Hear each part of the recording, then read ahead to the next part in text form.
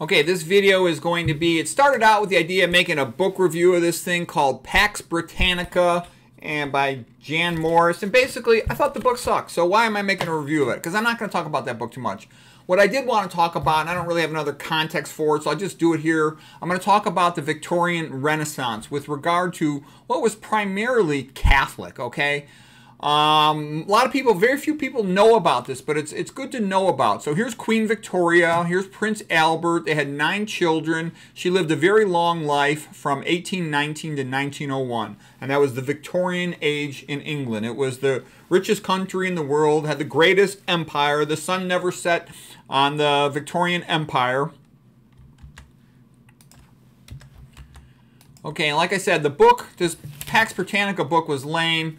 Uh, but there's some very interesting things that came out of Victorian England. So first of all, you know, my father's Irish, and as you probably know if you've seen my videos before, I I don't like, you know, the the British basically had the Irish almost in slavery for about a thousand years. Okay, it was terrible what they did, and they're still doing some bad things to the Irish. Okay, so th that's contemptible, and you know, basically they're more powerful than Ireland. They're a much bigger country, so they just declare the Irish as inferior and they abuse them for a thousand years. That's what basically happened. But what I want to talk about is some of the, there were some good things that happened in Victorian England. You know, the literature, I'll show you the painting first. We'll start with the art. I'm going to show you some stuff that you're going to think, I think if you care at all about art or Christianity or culture and literature, you're, you're going to be interested in these things. So first of all, John Ruskin. John Ruskin is like the center of the Victorian age with regard to art in particular, but also architecture. He was a crazy genius, sort of of a you know Calvinist Scottish origins, growing up in England, and you know Bible thumping parents. And his father was rich, who took him to travel around the world, so he had seen a lot. Okay, and he was very good at drawing himself. He was a big proponent of the Pre-Raphaelite Brotherhood, a group of artists who went back to a style they considered from before Raphael. In his opinion, Raphael had put the you know Mount Parnassus of the poets in the stanza Segnatura of the Vatican at the same height as the disputa, sacrament of the communion. The point being was he felt that Raphael had changed art from being devout and religious to something more aesthetic without a strong religious tone, and Ruskin felt that was a big step back. And the things that are funny about him is that he loved art, and so even though he was in a sense a Protestant, he couldn't help admiring the Catholic art, but he would criticize it even though he knew it was great. So it ends up being kind of funny. John Everett Millais was the best of the pre-Raphaelite Brotherhood artists. We're going to see some more paintings of him in just a moment. Uh, Ruskin had great speech. He has the greatest speech ever of all time by an art critic, uh, the 1853 speech on the pre-Raphaelite Brotherhood.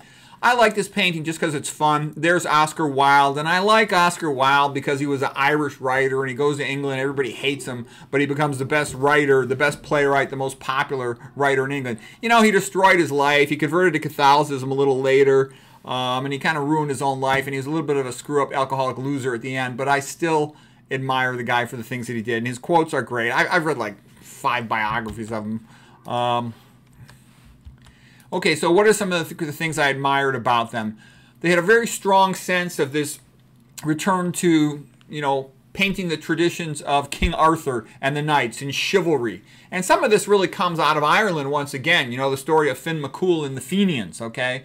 That was sort of part of what led up to the stories of King Arthur, okay? It wasn't just something from England, uh, but includes Welsh traditions. It also includes uh, the Irish traditions, okay? Finn McCool and the Fenians, Celtic Ireland, Okay, um, so of course, here's the romantic story of Tristan and Isolde, and that was partly why the whole King Arthur uh, stories became so popular, because there's a lot of romance involved in them, okay? So look at these magnificent paintings. This guy, Edmund Leighton, is a magnificent artist, and he's one of the late um, students of the Pre-Raphaelite Brotherhood. You know, John William Waterhouse, also fantastic artist.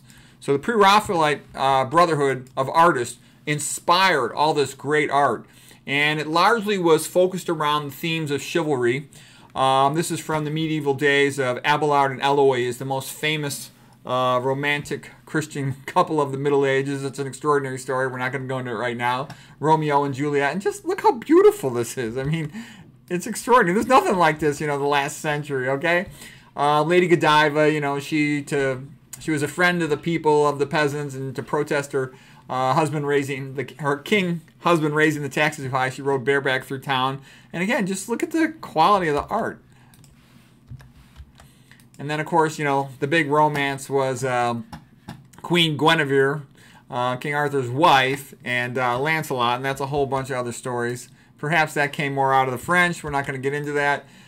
Uh, tremendous respect for Christianity and religion and the saints. This is uh, Saint Elizabeth, who, despite being born rich, the daughter of a king, she dedicated her life to helping the poor uh, and actually joined the secular order of the Franciscans. But what I'm trying to say is there's this tremendous Christian appreciation for God and, and in, in this art. Don't get me wrong. There's a lot of bad stuff about the 1800s, and some of my Irish friends will say, How the hell could I say anything good about England? And I'm going to say that you know, they were in terms of their secular component, the English were evil in the 1800s and what they did to the Irish in the famine in the 1840s, okay? But the component of some of their art was good and I think it's worth looking at. Okay, so here's the Hamlet play. This is by Edward Edwin Austin Abbey, you know, Hamlet looking back at the king. There's his Hamlet's mother Gertrude, there's Ophelia. And then here's a painting by John Everett Millais, you know, the great pre-Raphaelite Brotherhood painter. And just look at this painting of Ophelia. And I realize it's a very sad subject, okay, when she went crazy uh, after Hamlet sort of broke up with her out of his, his own craziness. But look how magnificent this painting is, okay? Um, John Everett Millais had the famous lady model actress of the time posing in a bathtub. And she caught a cold because the burner underneath couldn't heat the water enough. That's another big story. But anyways, magnificent painting of Ophelia from Shakespeare's Hamlet. Okay, and then again, there's a lot of fun to be had with the whole story of King Arthur and the knights. And here's uh, Lancelot, who was a little bit mischievous. That's why Lancelot didn't get to go find the Holy Grail, because his mischief with Guinevere. Uh, but he was the greatest fighter of the knights. Okay, and then here was the funny scene. You might remember they did a spoof on this in um, the movie Monty Python and the Holy Grail. This is Sir Galahad. Sir Galahad, the good, the noble, uh, the saintly. And he ended up in a castle full of maidens and he had to control himself from the temptation. Okay, um, Galahad the good, he had to be noble and pure in order to have the, the right that he would be entitled to go find the grail. So, you know, there's a lot of fun, all these stories. Okay, and you get a sense too of the seriousness of life in the Middle Ages and the days of chivalry. You know, the young prince is displayed before the crowd. Later on, the prince is getting married, and you know the men at arms come to tell him, "Nope, a call to arms." So instead of having a wonderful honeymoon, he's got to go do all that other stuff. But there's a very masculine, brave, protective chivalry. And I heard a nice quote recently. It said, Is toxic masculinity the problem, or is a lack of masculinity the problem in the modern world? Uh, I think it's more of this. Uh, so, anyways, the Vigil. So, the brave knight, you know, it's very Christian, very honorable, dedicated. So, I like all that stuff. Uh, here's another beautiful painting. Look at this called The Shadow, where she's tracing the shadow of her lover, her husband, on the on the wall there. You can see the ship is waiting to take him away. He has to go to fight to defend his country. And it's incredibly sad. And if you ever had a long distance relationship, you know what these goodbyes are like. They are so sad. You never forget them. Um, I remember that song like Leaving on a Jet Plane. Okay, anyways, she traces the outline. That's by Edmund Leighton, the great uh, Pre-Raphaelite um, Brotherhood artist. And I like this, a sense of respect for God. So the two crowns. So the king, on the one hand, he's the big shot. But on the other hand, there's a bigger king than him, and he looks up to that, and he has to respect that, and the people expect him to respect that. That's the best of the two worlds, you know, when they're sort of separate. Religion's a good thing when it's separate from the ruler. Um, it's corrupt when it's. That's one of the things too. I think Anglicanism, you know, the religion of England, is basically a joke. I mean, it's founded by Henry VIII. He's like, you know, evil, about as evil a ruler as you'll see. You know, what did he do? He had six wives. He beheaded about half of them. And then, you know, who was sort of the later ruler? Just about 100 years later, you got Cromwell. Cromwell is one of the most evil rulers that ever lived. You know, he's known as the devil in Ireland. So when the religion is too much controlled by the ruler of a country, it just becomes a tool of the ruler, you know. You know, I was reading some of these books about religion in, in England. They would put the Union Jack flag over the altar. I mean, it's ridiculous. They would put uh, persons from their secular society in their churches. Okay, that's ridiculous. Okay, you know the Protestants talk about don't uh, worship an image, and they're putting their secular rulers in their church. Okay, that's ridiculous. All right. So yeah, and of course, like I said, a church founded by Henry VIII, nothing good can come from that. Okay. And that's why the Anglican is partly faded so weak. Don't get me wrong, I know the Catholic Church got lots of problems, but that's a leadership problem. It's not a problem with the religion. It's a problem with the leadership. Okay, so anyways, uh, a little bit about the literature from the 1800s. Charles Dickens wrote the greatest novel ever written, The Christmas Carol. And the best part, you know, was the, the redemption, the turnaround of Scrooge. So here Scrooge has been taken by the third spirit. There was a spirit of Christmas past, a spirit of Christmas present, and this is the spirit of Christmas future who led Scrooge to his grave, his tombstone, his lonely, empty existence. And Scrooge, luckily, made a turnaround. He said, Spirit, clutching the, the robe of the Spirit, hear me, I am not the man I was. I will not be the man I must have been before this intercourse. Why show me this if I am past all hope? I will honor Christmas in my heart and try to keep it all year. I will live in the past, the present, and the future. The spirit of all three shall strive within me. I will not shut out the lessons that they teach. Oh, tell me I may sponge away the writing of this stone. And Scrooge was better than his word. He did it all and infinitely more. And to Tiny Tim, who did not die, he was a second father. So I love that. Actually, I love this painting of, of Scrooge with his friend Tiny Tim later on. Otherwise, he would have died. So, anyways, it was a beautiful story. The spirit had shown him Tiny Tim dying. So it's a great turnaround. And I mean, that just echoes in the human heart the theory, the theme of redemption. That's kind of what Christianity is all about. That's why it produces uh, well, it's a big part of why it produces all this magnificent art. There's nothing like Christianity in this world. Anybody below, give me a comment below. Just show me any any other culture that's produced, you know, anything in the ballpark of the amount of beautiful art that Christianity's produced or the amount of beautiful music. It's incredible for that. It, it, it creates the metaphysics that generate that. And the fact that it creates the metaphysics that generate this shows that this is something magnificent about it. You know, a world without Christianity would be kind of a bleak place. Okay, here's a painting uh, about Christmas Carol, and there's uh, Bob Cratchit, you know, with his son, Tiny Tim. Okay, and so here's G.K. Chesterton. He was another uh, English Catholic writer. The beauty and the real blessing of the book, A Christmas Carol by Charles Dickens, does not lay in the mechanical plot of it, the repentance of Scrooge. It lays in the great happiness that glows through Scrooge and everyone around him, and whether the Christmas visions would or would not convert Scrooge, they convert us. Yeah, it's great. And that's what I think is also funny, too.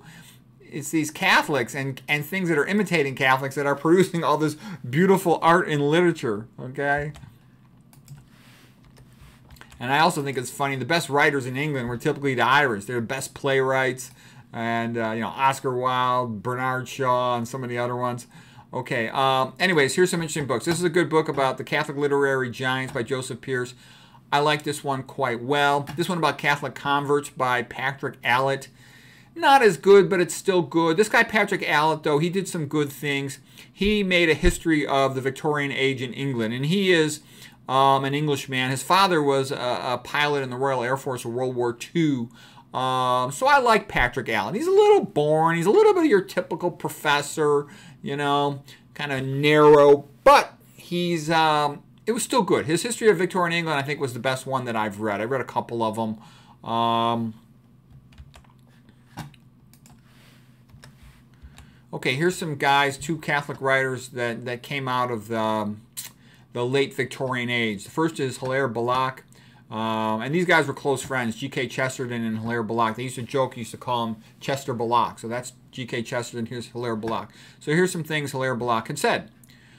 Wherever the Catholic sun doth shine, there's always laughter and good red wine.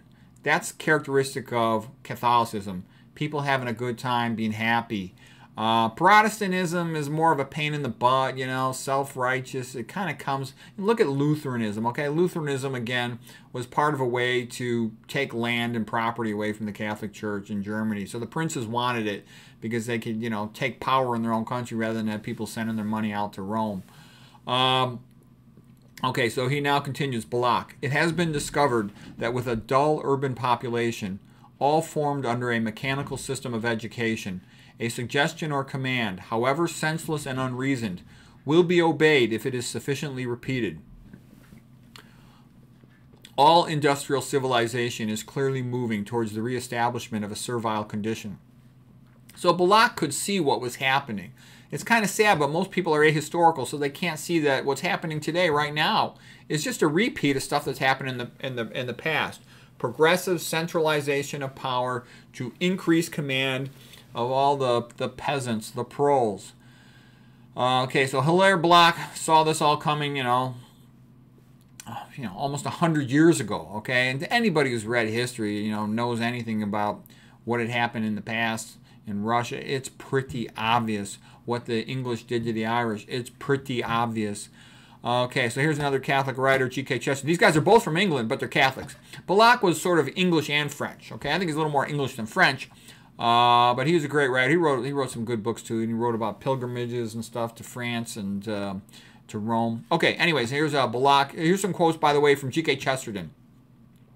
It is the test of a good religion that you can make whether you can make a joke about that.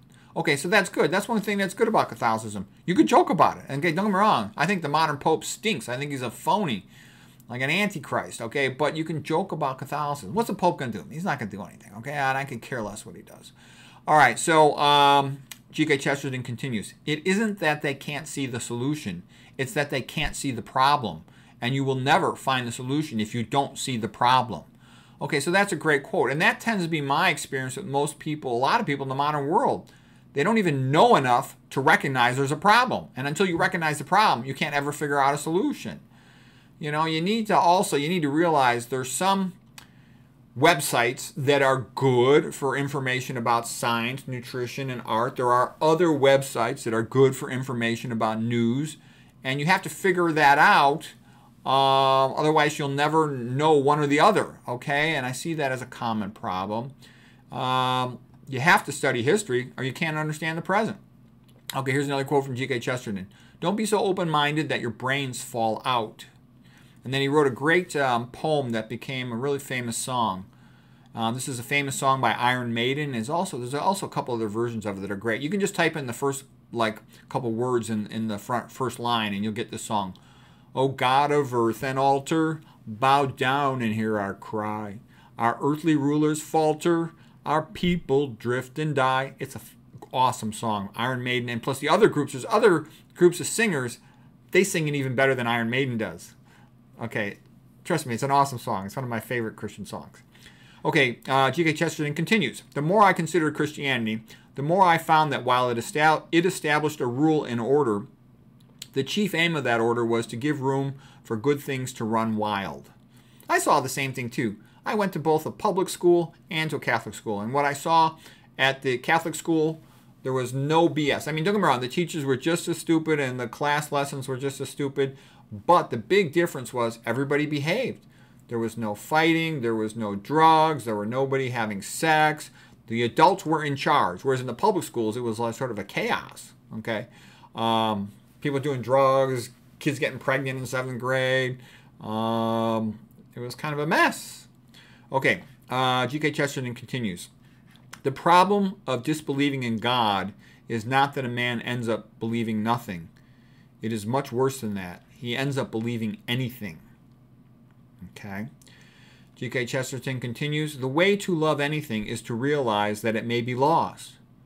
You know what? And you better love freedom, or that is going to be lost very soon. So hopefully, we'll be able to hang on to our freedom. Hopefully, we'll be able to hang on to our Christianity. There is a big movement afoot to persecute Christians and to get rid of the religion of Christianity and to make the Bible illegal. And if you think that's not true, you're not paying attention to what's going on. So hopefully this uh, freedom and Christianity will continue. You know, a world without Christianity and freedom is a world without art. It's a world of eternal slavery. We don't want that. Okay, here is uh, the Cardinal John Henry Newman. He originally was Protestant, but he converted to Catholicism once he had studied Christianity more, um, and he eventually became a saint. So Cardinal Saint John Henry Newman lived from 1801 to 1890. So here's a quote by him To be deep in history is to cease to be Protestant. Yeah, when you study the Christian religions more, Catholicism stays. Even though the, the guys in the Vatican right now are a bunch of jerks and they stink, And there's a problem with the priesthood because you really should have guys allowed to be married, okay? You're not going to be able to get good priests until you allow guys to get married to be priests. And they don't want to do that because they, they kind of like the way they have it, but it's not good for the religion. So, anyways, that's why these churches are, are going out of business because the priests stink. Okay, but the religion is good. Uh, so, anyways, the religion itself, the intrinsic aspect of it. So, here's a nice quote from John Henry Newman Turn away from Catholicism, and to whom will you go? It is your only chance of peace and assurance in this turbulent, changing world. In the long run, it will be found that either the Catholic religion is verily and indeed the coming in of the unseen world into this, or that there is nothing real in any of our notions as to whence we come and whither we are going. If you unlearn Catholicism, you will become Protestant, then Unitarian, Deist, Pantheist, and finally skeptic or atheist in a dreadful but infallible succession. Yeah, the truth of that is that the Protestant churches, they just keep splintering, breaking apart, breaking apart, breaking apart, breaking apart. And they really all ought to get just get along and be nice to each other.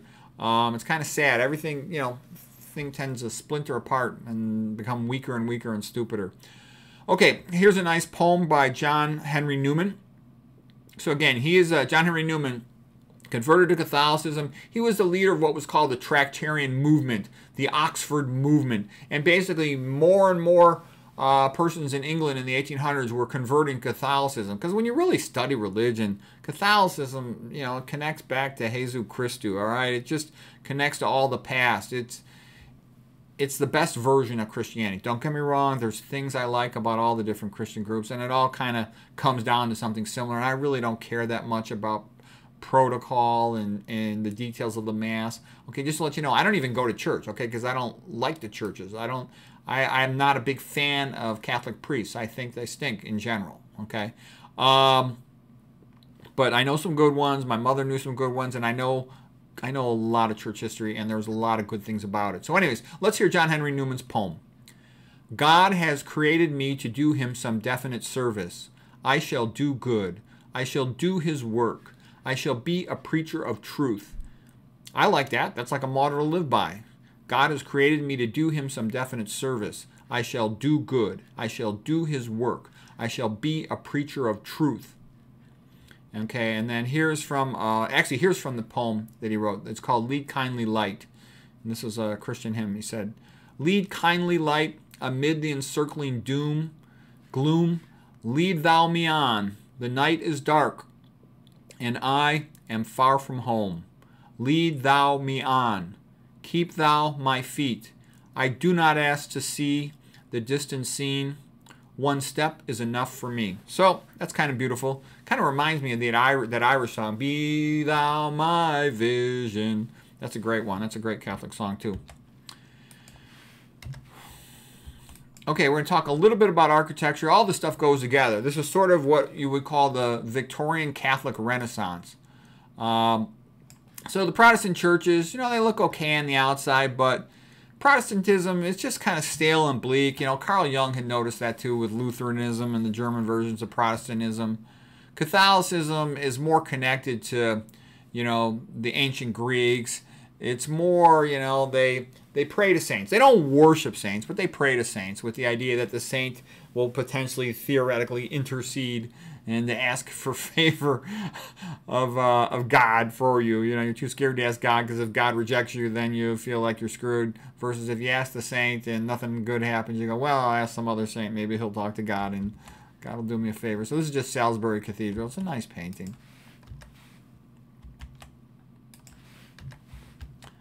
Okay, now here's a guy who I really like. This is Augustus Welby Pugin.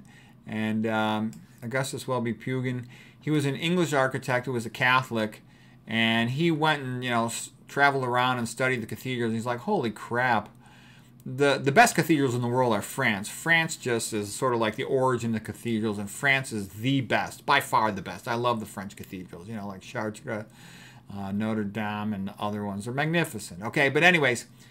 He had traveled around and seen the difference between the Catholic cathedrals and the English cathedrals, and he really wanted to bring back Catholicism in terms of architecture. And he was a Catholic, okay? Uh, so this was called the Gothic Revival in England. This also led to a lot of the Gothic, you know, like some of the Ivy League campuses being built this way, and some of the universities in um, England also built this way. Pugin was a big leader of that movement, and I call this again part of the English Catholic Renaissance in the 1800s. Um, he loved the way the Roman Catholic Church integrated art and sculpture and architecture in their Gothic cathedrals. So here's some of his quotes Gothic today, Gothic tomorrow, Gothic forever. Gothic is the only appropriate style for the building of a Catholic church. Everything glorious about English churches is Catholic. Everything debased and hideous is Protestant. A Gothic church, a Gothic cathedral is about light and color, beauty and splendor, with soaring lines that lift the human spirit heavenward. The heaven pointing spire is a beautiful and instructive emblem of a Christian's brightest hopes. Since I was a child, I have prayed for the restoration of the long lost glory of Catholic England. Okay, and some of the things that'll tell you this is a Catholic church instead of Protestant is, you know, the amount of uh, stained glass windows and the paintings on the walls. Catholic churches, you know, Catholic cathedrals are beautiful, okay? And this is the only picture I have of one of Pugin's uh, cathedrals. He, he did a whole bunch more, but they're beautiful compared to the Protestant stuff. But one of the advantages the Protestants have is they let the, the preacher get married, so you, you can recruit from a lot wider range of men, and you're going to have a lot of better preachers. You know, like the United States when it was founded, all these, there was a lot of preachers all competing, and a lot of them were pretty good. Okay, I'm briefly going to talk a little bit about science and first of all, we'll start with Isaac Newton because he's sort of the big transition figure uh, in the modernization of science. He's the smartest guy who ever lived. Okay, so here he is in 1665. He just graduated from uh, Oxford and he went off to the family cottage in Woolsthorpe to study. There was a time of plague and he felt he would be safe there and he just had time to think. He pondered gravity. That was his called his miracle year, Anno Mirabilis, 1665. Um, and you know he sort of clarified the law of gravity, invented calculus, and did a lot of pioneering work in optics and the mechanics for physics, um, thermodynamics, and whatnot. So, anyways, here's a couple quotes by Isaac Newton: "He who thinks half-heartedly will not believe in God, but he who really thinks has to believe in God." And I'd agree with that. If you really study science and biochemistry, like I've done, you know, for many years of my life, I've been a doctor over 30 years uh, it's too amazing. It's too incredible. It couldn't have happened by accident. We talked about this before. If you went out to the beach and you saw your name written in the sand, you would say an intelligent person wrote that. How else could that have happened? And then you look at the DNA of a human, there's 3.3 billion base pairs. How is 3.3 billion uh, letters going to be put in correct order unless some brilliant mind designed that, okay? that's not going to randomly happen by chance. You know, the old joke is, well, if you had a thousand monkeys in a room with typewriters, they would type Shakespeare. No, they wouldn't. They would defecate on the typewriters. That's already been tried. That's what happened. Okay, so anyways, um, more quotes from Isaac Newton. I have a fundamental belief in the Bible as the Word of God, written by those who are inspired. I study the Bible daily. All my discoveries have been made in an answer to prayer. Atheism is so senseless. When I look at the solar system, I see the Earth at the right distance from the Sun to receive the proper amounts of heat and light. This did not happen by chance. Isaac Newton. And so, you know, a lot of times you'll hear some low IQ atheist saying, oh, God is stupid, there is no religion. You know what? The smartest people who ever lived were pretty devout, okay? Isaac Newton, the smartest scientist who ever lived. Johann Sebastian Bach, perhaps the best composer who ever lived. Everything I do is for God. Michelangelo, all my uh, work is out of my trust in God. What I'm trying to say is, you know, the people who did the greatest achievements of any human that ever lived have been very devout religious people, okay? So when some low IQ atheists, you know, criticize them, I'm like, show me what have you done? Where is where's your art? Where's your science? Okay? So, you know, there's a reason to admire these guys cuz the their sense of world vision gave them the energy to put together the greatest human achievements of all time. All right? So, I admire them. I want to be like them. Okay, so here's a quote by Humphrey Davy. He was a great uh, science scientist, primarily a chemist who followed in the footsteps of Isaac Newton, and he also wrote poetry. Just here's a sense of his poem: "O most magnificent and noble nature, have I not worshipped thee with such a love as never mortal man before displayed, adored thee in thy majesty of visible creation, and searched into thy hidden and mysterious ways, as poet, as philosopher, as sage. So, this sense of adoration and appreciation, these are characteristics of an inspired man who's then is energized to do great thing. And now here's Michael Faraday, you know, and I love this guy too. I mean, this guy was really poor, and he was desperately poor. He was happy to get a job in a bookshop, you know, working all day long, uh, helping with the books. And what he would do is, in all of his free moments, he would constantly read, and he self-educated himself and became one of the greatest scientists of all time. Um, he did work both with, you know, the early days of electricity and also with uh, chemistry. And Humphry Davy was a mentor to him. So here's, here's what Michael Faraday will say. The book of nature which we read is written by the hand of God. Okay? And that, that type of attitude inspires you to want to work hard, not just for getting a grade in school or to make five bucks for the day, but to, to discover the work of God, to discover something beautiful, to create something beautiful. And so that's a great thing. That's a, and that's why the that's why you know I studied all these great achievers in life, um, and that's a very common theme amongst them. A devout sense of God, a sense of mission in their life, that they were put on this earth for a purpose, and that's what gives them like superhuman energy to do magnificent things. And so, if you yourself want to be able to achieve more, you want more energy, think that way and it'll energize you, you know, because everybody in life is kind of sad and frustrated and has a lot of problems. But if you at the same time pick a goal in your life and to do something good, it inspires you, it gives you lots of energy, and it also brings you some happiness and hope that help compensate for all your sadness and disappointments that are, you know, are inevitable in life. You can't get away from them, and you're just you got to deal with it. You know, so what you say to yourself, yeah, I'm, I got problems, I'm half screwed, but you know what? At least I'm not totally screwed, and I'll make the most of the things that are offered to me in life or that I have a chance at. So, anyways, I love this painting too. This is by William Holman Hunt from 1851. He was another artist in the group of the Pre-Raphaelite Brotherhood.